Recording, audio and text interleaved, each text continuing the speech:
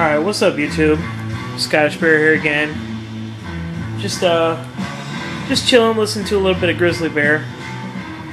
I don't know if you guys heard of that group before or not, but um see there on my Windows Media Player, it's playing through them.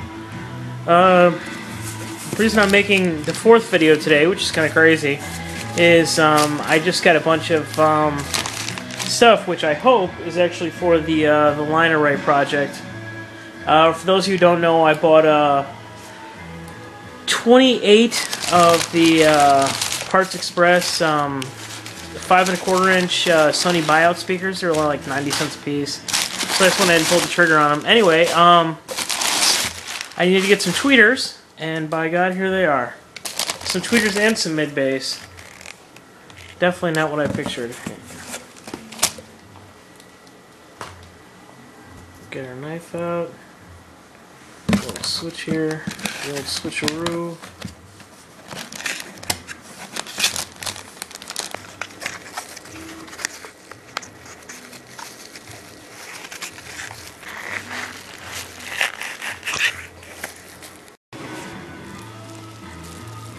Okay, YouTube, I just had to take it out of the box. It was um, fighting me a little bit, so I paused it. Um, you can see here, it's a uh, Goldwood Sound GT510. It's uh, 8 ohms. I'll be running them uh, in series so that they're uh, 4 ohms apiece on either side.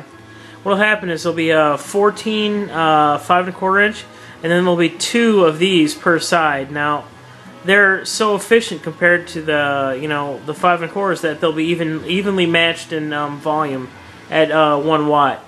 That is to say that the two of these equal about uh, 94, 95 dB, and uh, the five and a quarter is only 85 dB efficient. So um, hooking up 14 of them together actually uh, brings it up to about 96 dB. So, but uh, yeah, there's um, there's the four tweeters. This ought to be a little bit more interesting for you guys. Because I know you like big woofers. Now these aren't actually, you know, like gigantic. You know, they're probably they're the same size as the ones in my door. You know, they're 10 inch, but uh, these will be going along with uh, the the the can't talk today. Uh, this will go along with the line arrays, and it'll actually um, each one of these. There's four 10 inch in this box and they're going to sit in uh, one cubic foot enclosures in the rear of the uh, of the line array. You guys will see what I mean in a couple of months when I um, start building them, but here they are.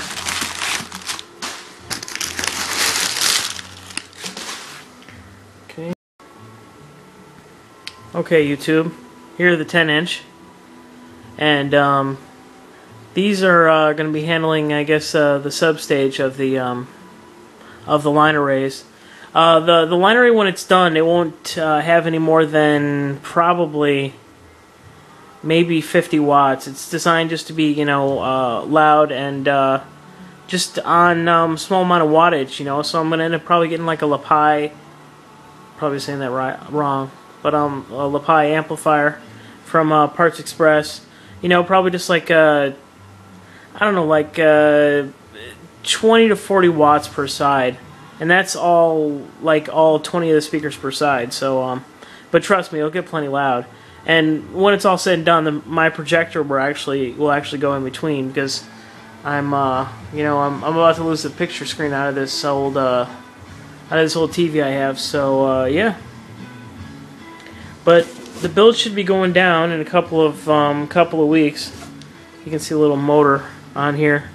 It really is uh, quite small, but um, you know, oddly enough, these can take uh, 300 watts, which surprised the hell out of me, given like what is that, an inch and a half, two inch voice coil.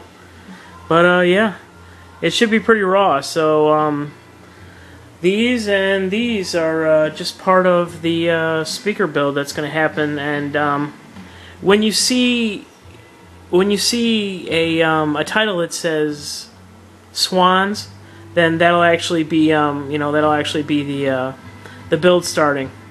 So uh, yeah, so look for that. So that's all I got for you, YouTube. At least that's just for today. You know, four videos. if That's all right. But um, I'm gonna go ahead and uh, sign out. So this is Scottish Bear saying peace.